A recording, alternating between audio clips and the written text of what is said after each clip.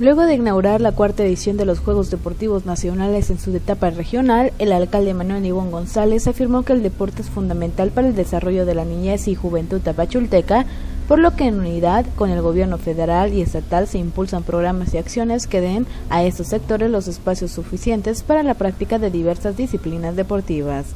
Ante el coordinador regional del Indeporte, Víctor Hugo de Escobar, el edil tapachulteco precisó que cuando se trata de fomentar la práctica deportiva, el ayuntamiento se suma a las acciones que además de mejorar las condiciones de salud de los jóvenes, permiten la convivencia y alejar a los jóvenes de los vicios y drogas. Nibón González exhortó a todas las niñas y niños participantes a dar su mejor esfuerzo en las diferentes competencias deportivas, a fomentar la solidaridad y trabajo en equipo para obtener los mejores resultados que los lleven a la etapa estatal y nacional.